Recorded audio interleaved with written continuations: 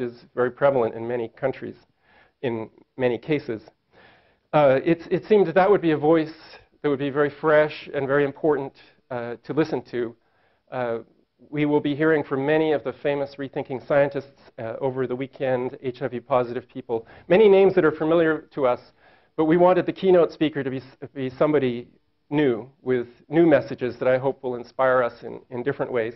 You can read Michael Tracey's biography in the brochure that you, you have, but he has a, a very distinguished career as a, a, scholar and practitioner of, of journalism with a great interest in the uh, American injustice system, which of course is very similar to the injustice systems of many countries around the world. So I would like to welcome Michael Tracey to the stage to give his keynote speech. Please welcome him.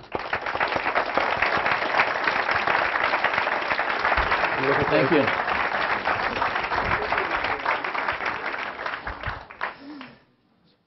Have a little juice to begin with. Um, thank you those opening remarks. Um, it's true. When I was um, coming in, there's a gentleman, where is he? He was there, who kind of said in a very polite way, like, who the hell are you? Um,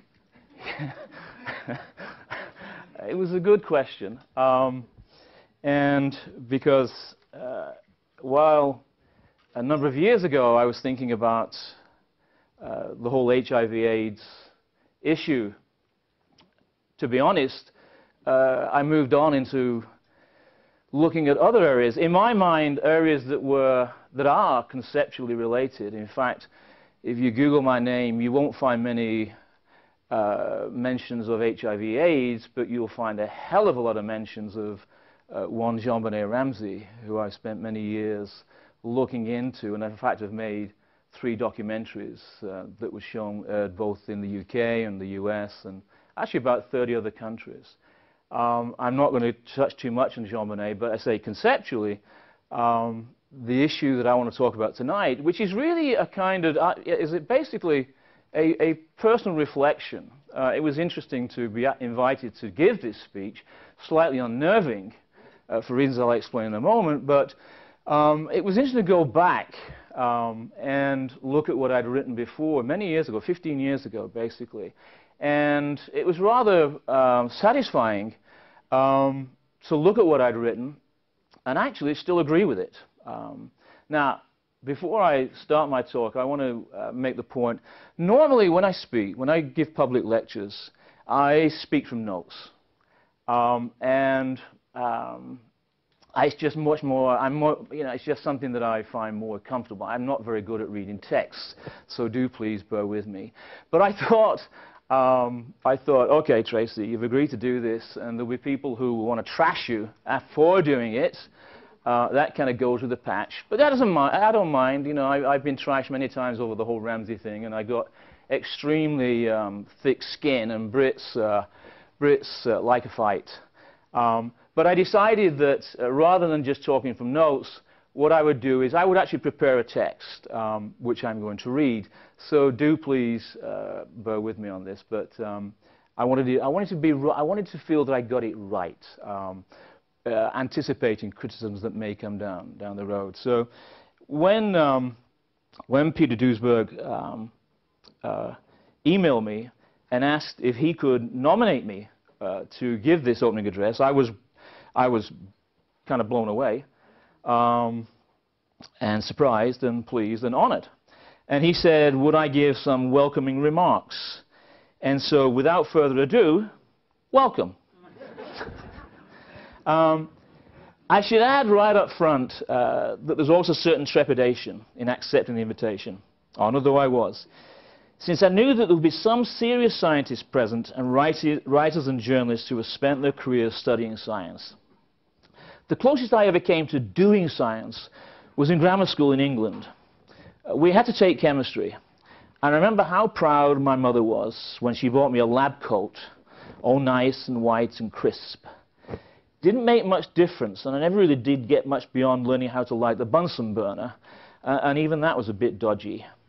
I, I, didn't do very well. In fact, the one and only thing I re really remember from that time was that our teacher, Dr. Keith, the school was ever so proud that he had a doctorate, or at least he told them he had, um, was in fact a sadist who liked to flog boys with a rather large cane.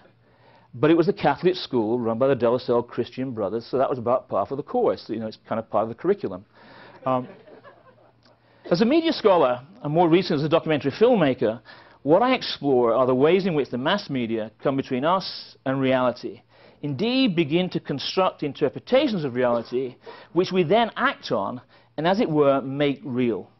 It is and was here that my whole interest in how we, the society, came to think about HIV, uh, HIV AIDS lies. For me, the story began late on a Sunday evening at my home in Boulder, Colorado, early 1990s, maybe 1992.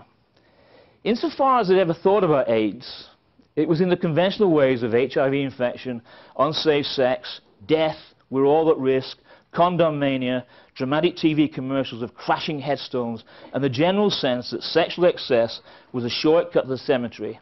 Um, that any sex, excessive or not, was like to have the direst consequences. It was about midnight. I'd just returned from a trip abroad. The house was quiet. A rather fine glass of Chablis in hand. I was doing what I normally do in front of the TV. I was surfing the channels. I happened on a discussion program hosted by the black journalist Tony Brown. I lingered, and what I heard began to fascinate me. The discussion was of AIDS, and the fact that the HIV hypothesis was, as one of the participants put it, dead. It was one of those moments that remain etched on the memory. The interviewee, I recall, had this round face, her parted on the side. Seem to recall also he was wearing a greenish tweed jacket, v-neck sweater, and tie. And he wore these Harry Potter glasses. In fact, it occurs to me he wore Harry Potter glasses before Harry Potter wore Harry Potter glasses. So I don't know if Mr. Lauritsen's here. Is, is he here? It's an extreme pleasure to meet you.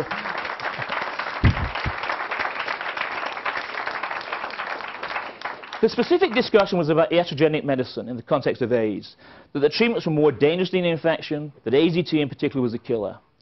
John started talking about AIDS in ways which I had never heard, and which I found puzzling but somehow riveting, and to be honest, convincing. I may not be a scientist, but I have a very good nose for a good argument. I realized that he was challenging one of the most powerful beliefs of the age.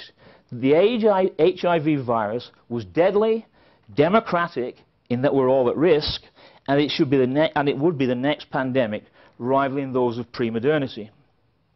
I also heard something that startled me.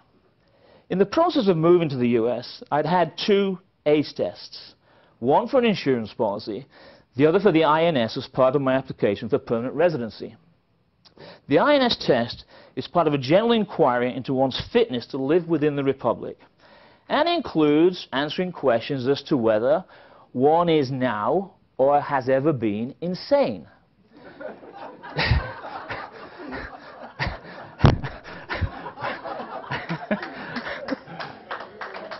Only the feds, eh? Only the feds. Um, uh, whether one plans to overthrow by force of arms the elected government.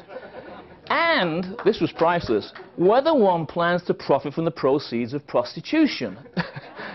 and I had to answer these questions for my children, who were then aged 5, 4, and 18 months.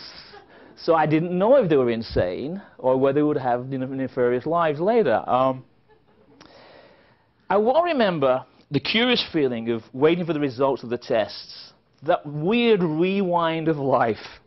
Uh, you know, that night, um, um, I was nervous. If this test came back positive, that was it. Life was over, family destroyed, the Grim Reaper hovering there, one more victim of the plague.